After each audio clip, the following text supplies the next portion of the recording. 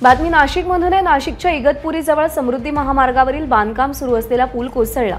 इगतपुरी तालुक्यातील गावाच्या मुख्य रस्त्यावरती पूल कोसळल्यानं काही काळासाठी भीतीचं वातावरण निर्माण झालं होतं. या दुर्घटनेमध्ये कोणतीही जीवितहानी झालेली नाही. पुलाचं काम निकृष्ट असल्यानं पुलाच्या कामाचं ऑडिट करण्याची स्थानिक ग्रामस्थांची मागणी.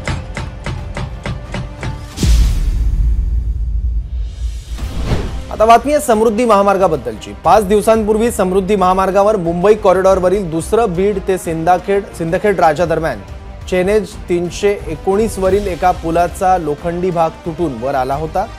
याची बातमी एबीपी माझानं दाखवल्यानंतर तात्काळ या पुलाची दुरुस्ती करण्यात आली.